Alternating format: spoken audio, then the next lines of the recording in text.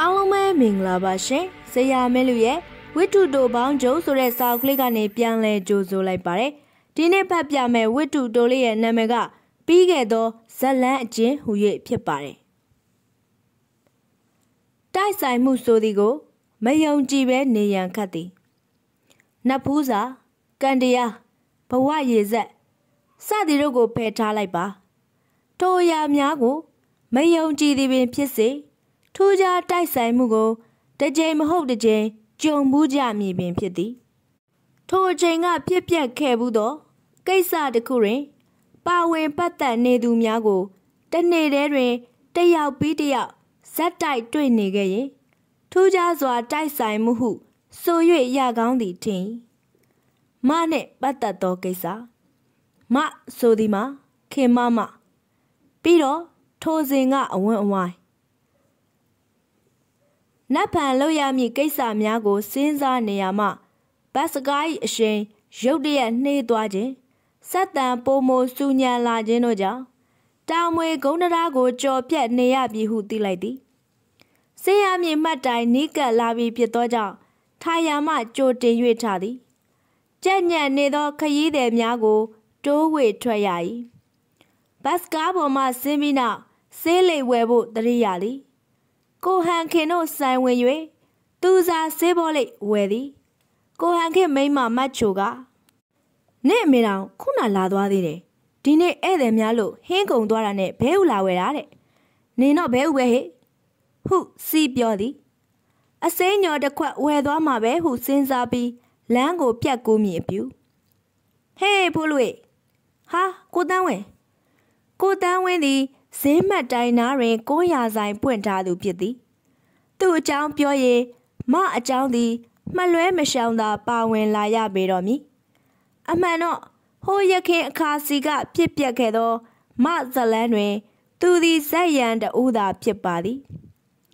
မတတ်မှတ်ထားသောစီကံများအရာရုံးသွားခြင်းတွင် သူ့အိမ်အနည်းရှိမှတ်တိုင်းမှာလာမဆောင်ရရုံးစင်းခြင်းတွင်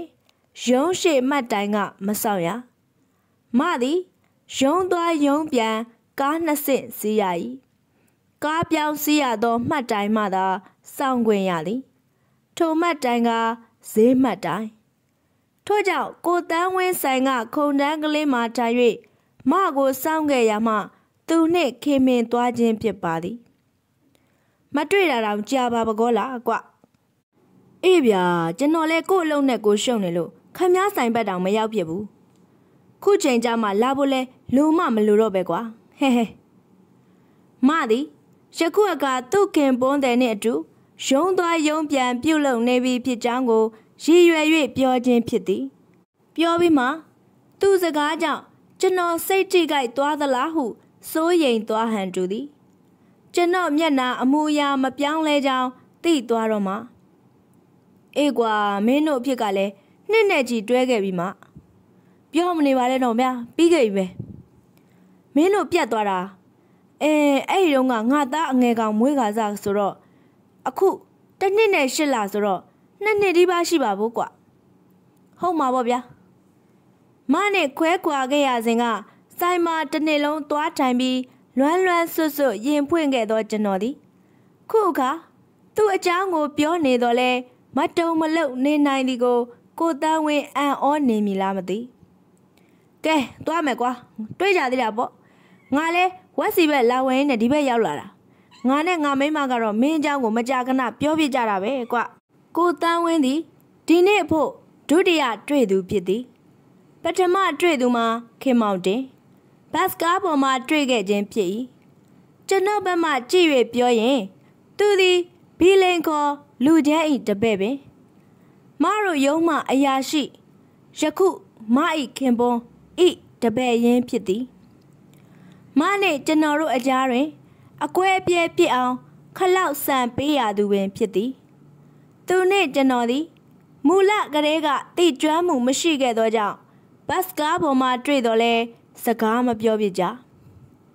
သူ့ကိုမြင်သောအခါအော်နှလုံးနာစိတ်ဖြစ်တင်တော့လဲအထက်အရာရှိစီကမျက်နှာကောင်းလိုချင်လို့ လောက်ရတာဖြစ်မှာပါလေဟုကျွန်တော်ခွင့်လွှတ်လိုက်သည်ကြောင်မြောင်းစင်းမှတ်တိုင်းမှာ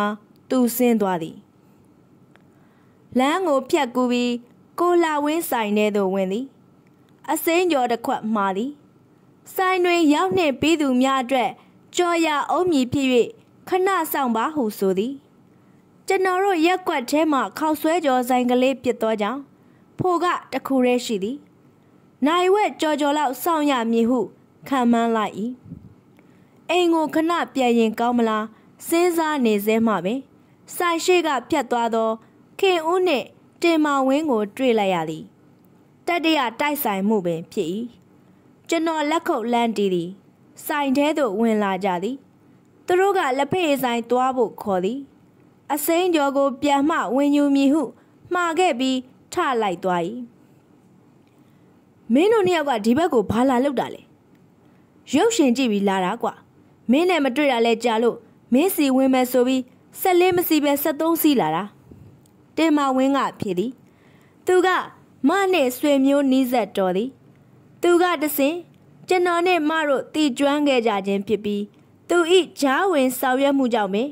မနဲ့ကျွန်တော်ချစ်ခဲ့ကြခြင်းဖြစ်သည်ကျွန်တော်တို့၏အကွဲပြဲတွင် သူကကျွန်တော်ဘက်မှရက်တီခဲ့သူပင် ကျူးကျော်လက်ဖေးဆိုင်မှထိုင်သည်ထိုဆိုင်မှာမူရဲနာမည်ရှိကောင်းရှိမည်တို့ရရင်ကျွန်တော်တို့မသိတော့ဆိုင်ရှိတဲတဲ့တွင်ကျူးကျော်ရက်ကွက်ဆက်ချဟူသောဆိုင်းပုတ်ရှိသည်ခတ်ဝဲဝဲကကြည့်ရင်ဆိုင်းပုတ်နာမည်ဆိုင်းနာမည်ထူထားသည်နှင့်အလွန်တူ၏ထို့ကြောင့်ကျွန်တော်တို့ကကျူးကျော်လက်ဖေးဆိုင်ဟုခေါ်လိုက်ကြခြင်းဖြစ်သည်မင်းကငါတို့ဘက်တောင်မလာဘူးလာဖို့မှမလိုတော့ပဲဟဲဟဲ ကိုတန်းဝင်းပြောသွားသောစကားအတိုင်းကျွန်တော်ပြန်ဖြေလိုက်သည်တင်မောင်ဝင်းကကျွန်တော်မျက်နှာကိုအကဲခတ်ကြည့်လိုက်ပြီးမှဘာလဲမင်းကငါတို့ရက်ွက်ကိုစိတ်နာသွားပြီလားဟုရင်းရင်ပြောသည်ခင်ဦးကပြုံးလိုက်ပြီးကျွန်တော်စီကဆေးဘောလိတ်တလိတ်ကိုဆွဲယူသည်မင်းအလောက်ကရောအဆင်ပြေတယ်မဟုတ်လားအဲမစိုးပါဘူးကွာမိဘစီကလက်ပြန်တောင်းစရာမလိုတော့တဲ့လောက်ပါပဲအိမ်ခန်းတန်းတန်လေးတခုငှားဖို့လောက်ထိတော့ ဝင်ဝင်မကောင်းသေးဘူးပေါ့လေသူ့အမေကိုကျွန်တော်ပြန်မပြေပဲပြုံးယုံသာပြုံးပြလိုက်သူကမင်းရဲ့မပြောနေကြစကားပဲလေဟုတ်ဆက်ပြောပြန်သည်ခင်ဦးကကြောင်တာပါဟုတ်ပြောပြီးလှောင်ပြုံးပြုံးသည်မင်းကလည်းအဲ့ဒါပဲပြောနေတာပဲစကားကိုကောင်းကောင်းမပြောအောင်ကျွန်တော်ဤဟန်တားမှုကြောင့်စကားလမ်းကြောင်းပြောင်းကြပြန်သည်ကျွန်တော်အလုပ်ဖြစ်သော စာပေရေးရာကိစ္စများအကြောင်းတင်မဝင်း၏အလုပ်ဖြစ်သောတေးတန်သွင်းအကြောင်းခင်ဦး၏အလုပ်ဖြစ်သောဆယ်တန်းစာမေးပွဲအကြောင်းတို့ရရင်ကြာကြာမပြောပြဟိုအကြောင်းတို့တပတ်ပြန်လဲသွားကြသည်တလို့ကတော့ဟွင်ကိုငါရောက်သေးတယ်ဘယ်လဲကွာမင်းရဲ့မအိမ်ကိုပေါ့သူသည်မင်းရဲ့မဆိုသောစကားကိုပြောနေတော့လဲခန့်ငေါ့ငေါ့လေတံမျိုးဖြစ်သည် သူမျိုးဖြစ်သောမအတွက်ကျွန်တော်အပေါ်အားနာနေသောကြောင့်ဖြစ်ဟန်တူသည်မကိုအပြစ်တင်သောစကားများကို အရင်ကလည်းသူပြောခဲ့ဘူးသည်အဲ့ဒါငါလည်းသူတို့ရင်တိတ်မသွားပါဘူးသူ့ယောက်ျားကြီးကိုမကြည်လို့အဲ့ဒီတော့ကတော့ဦးလေးကခေါ်လို့သွားတာဦးလေးဆိုဒီမှာမဤအဖေဖြစ်သည်တင်မဝင်းသည်စကားကိုဆက်ပြန်သည်မင်းရဲ့မကငါ့ကိုမေးသေးတယ်အိမ်ကိုမလာလာကြာပြီနော်တဲ့ငါလည်း မမြင်ကျင်တဲ့မျက်နှာတွေတွေ့တွေ့နေရမှစိုးလို့လို့ပြန်ပြောလိုက်တယ်မင်းရလဲကွာအဲ့ဒါတွေသွားမပြောပါနဲ့မဆိုင်ပါဘူးကွာငါတော့သူ့ကိုတွေ့တိုင်းရည်တာပဲမင်းသာအမြဲတမ်းအိတ်ဆက်ဆက်လုပ်နေတာသူကတော့မင်းကိုအပြတ်တွေ့လိုက်တာလေအဲ့ဒီတော့ကမင်းစာမေးမင်းစပွဲကိုလက်သိမ်းနဲ့ထိုးတာမှတ်မိသေးလားဟုတ်တယ်ဟုတ်တယ်ကျွန်တော်ပြောတော့ကသာအပြက်လုပ်လိုက်ရင်ပြဿနာရှင်းနေပြီခင်ဦးကဝင်ပြောသောကြောင့်စပွဲကိုလက်ချောင်းကလေးများဖြင့် စမ်းလျားတီးတယ်လို့ခောက်နေရမှသူ့ကိုကျွန်တော်ကြည့်လိုက်သည်ခင်ဦးသည်ကြစ်ကန်ကန်အကောင်မဟုတ်တာမမှန်တာကိုဘယ်တော့မှမလုပ်သူ့ကိုလာကြောရင်လဲဆက်ဆက်ထိမခံထူးခြားသည်မှာသူခင်မင်လေးစားသူများအပေါ်တယောက်ယောက်ကမဟုတ်မဟတ်လုပ်ရင်သူကကိုစားဝင်၍ချဲတဲ့ခြင်းဖြစ်သည်ကျွန်တော်ကိုအလွန်ခင်မင်လေးစားသည်ကျွန်တော်နဲ့မတို့ပြဿနာတွေတက်ပြီးခက်ကင်းကင်းဖြစ်နေသောအချိန် ဟိုလူကအခွင့်တာကိုက်ဝင်ကတ်နေသောအချိန်မကိုယုံကအပြန်အိမ်လိုက်ပို့တာတွေဘာတွေလုံနေသောအချိန်ယုံသွားယုံပြန်ခင်ဦးတို့အိမ်ရှိကဖြတ်သွားရသည်ခင်ဦးသည်ဟိုလူမတို့အိမ်ကအပြန်ရိုက်ပါမည်တကယ်ကဲလုံနေသဖြင့်ကျွန်တော်ကတားထားရသည်ခုရီသူအခဲမကြေဖြစ်နေပုံရသည်အဲ့ဒီတော့ကအကိုသာ pass ပေးလိုက်ရင် ဒီငနေနောက်ကိုမလာရဲအောင်နှိပ်ပလိုက်မလို့ဗျခုရီကြည့်လို့မရသေးဘူးဟိုတနေ့ကတော့သူတို့အိမ်ကခွေကျွန်တော်အိမ်ရှိလာလို့ခဲနဲ့ကောက်ထုတ်လိုက်သေးတယ်ခင်ဦးဤစကားကိုသဘောကျသဖြင့်ကျွန်တော်ရည်လိုက်သည်ပြီးခဲ့တဲ့ကိစ္စတွေပြီးပါစေတော့ကွာသူတို့ဟာသူတို့နေပါစေသွားမနှောက်ယှက်ကြပါနဲ့မင်းကခွင့်လွတ်နိုင်တယ်ပေါ့တင်မဝင်းကမေးသည်ကျွန်တော်ကဖြေသည် ခွင့်လွတ်တယ်ပါရဲ့မဟုတ်ပါဘူးကွာသူလဲသူ့အိမ်အောင်နဲ့သူနေသားကြနေလောက်ရောပေါ့ငါလဲငါလဲငါသွားနေပြီပြီပဲအကောင်းဆုံးကဥပခါပြုတ်ထားလိုက်ဖို့ပဲအရင်တော့ကကိစ္စတွေအားလုံးမေ့ထားလိုက်ပြီကွာသူတို့နဲ့လမ်းခွဲပြီးနောက်အစိမ်းကြော်ရုပ်ကိုဝင်ယူပြီးအိမ်ဘက်သို့ရှောက်လာခဲ့သည်ထိုအချိန်မှာပင်နောက်ထပ်တစ်ယောက်နှင့်တိုက်တိုက်ဆိုင်ဆိုင်တွေ့ရပြန်သည်ဘလောက်ထူးဆန်းသနည်းမ၏အမဝမ်းခွဲတစ်ယောက်ဖြစ်သည် အမကြီးသည်ကျွန်တော်ကိုမြင်မြင်ချင်းဝမ်းသာအားရနှုတ်ဆက်ရှာသည်ဟဲဖိုးလူ၏အမကြီးနေကောင်းလဲနော်အေးကောင်းပါလေကွာမတွေ့ရလဲကြာလှပေါ့ဆိုပြီးစကားသုံးလေးခွန်းပြောပြသေးသည်ပြီးမှဟဲ့ဒါနဲ့နင်းကစာရေးဆရာဖြစ်နေပြီဆိုဟုတ်ကဲ့ဒါပေမဲ့ပြည့်မြောက်မြောက်မဟုတ်သေးပါဘူးမာကြီးဟာဟဲဒီလိုလဲဘယ်ဟုတ်မလဲစာရေးတယ်ဆိုတာလွယ်တာမှတ်လို့ ငါတို့မြတ်ကိုချိန်စာရေးစာဝတ်တစ်ပုတ်ရေးခိုင်းရင်တော့တမျက်နှာပြည့်အောင်မနဲ့ရင်ရမှာမသည်စာရေးခြင်းတစ်ခုရဲနဲ့လူမှုဘဝပူလုံသည်ဟုယူဆသူမဟုတ်ချေတခြားအလုပ်တစ်ခုခုအထူးသဖြင့်အစိုးရအလုပ်လွတ်ရင်ဝါသနာအလျောက်သာစာရေးတင်သည်ဟုဆိုခဲ့သူဖြစ်သည်ထိုကိစ္စနှင့်ပတ်သက်၍ကျွန်တော်တို့နှစ်ယောက်အခြေတင်ဖြစ်ခဲ့ကြသေးသည် ခုမ၏အမကစာရေးစရာတယောက်အပေါ်အထင်ကြီးရှိနေပြန်သည် တောင်းမယ်မကြီးရဲ့ထမင်းစားလာပြီအမကြီးသည်အေးအေးငါမောင်လည်းပိန်လိုက်တာကွယ်ဟုစိတ်မကောင်းတန်ဖြင့်ပြောပြီးတနာသဖြင့်ကြည်သွားသည်အိမ်ရောက်ရောက်ချင်းတရိယာသည်မှာထမင်းစားဖို့ဖြစ်သည်စားလာပြီထမင်းစားခဏနားပြီးမှရေချိုးရသည်ရေးလက်စဝတ္ထုတိုကလေးကိုဆက်ရင်းမြည်ဟုဇပွဲတွင်ထိုင်ပြီးမှစာအုပ်တအုပ်ရှာဖို့တရိယာသည်ဆရာမောင်ထင် မြို့အုပ်ပုံမြင်စာအုပ်စာအုပ်တွေထည့်ထားသောဗီဒီယိုကြီးကိုဖွင့်၍ရှာယူသည်ထိုစာအုပ်ထဲမှာ left ဆိုသောဝတ္ထုတို့ကို ပြန်ဖတ်ခြင်းသောကြောင့်ဖြစ်သည် မာရိကာရင်ရှာပြီးထိုဝတ္ထုရှိသည့်စာမျက်နှာကိုလှန်ကြည့်လိုက်သည်တွင်အထူးဆန်းဆုံးနှင့်နောက်ဆုံးတိုက်ဆိုင်မှုဖြစ်သော စာကလေးတစ်စောင်ကိုဘွားကနေတွေ့လိုက်ရလေသည် စာကိုပွင့်၍ကြည့်လိုက်သည် မထံမှနောက်ဆုံးပေးပို့လိုက်သောစာဖြတ်စာဟိုတစ်ချိန်ကအိယာခေါင်းရင်းရှိဖျားအောက်တွင် အမြဲထား၍မကြာခဏထုတ်ဖတ်ခဲ့သောဖတ်မိတိုင်းလဲတနစ်နှစ်ခံစားရသောစာဘယ်အချိန်ကဘလို့ဒီစာအုပ်ကြားထဲရောက်နေမှန်းမသိတော့မောင်နဲ့မနဲ့ဟာဘယ်တော့မှစိတ်သဘောထားချင်းတိုက်ဆိုင်နေလို့မရှိခဲ့ဘူး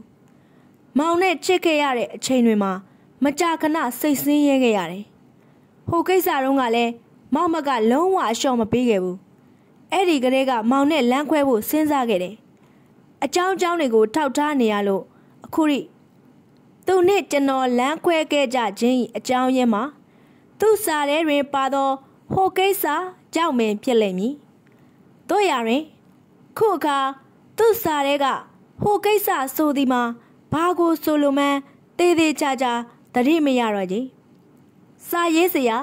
လှုပ်တဲ့မလှုပ်တဲ့ဆိုသောကိစ္စဖြစ်ကောင်းဖြစ်မည်တခြားတစ်ခုခုလည်းဖြစ်ခြင်းဖြစ်မည်တိတိကျကျမမှတ်မိတော့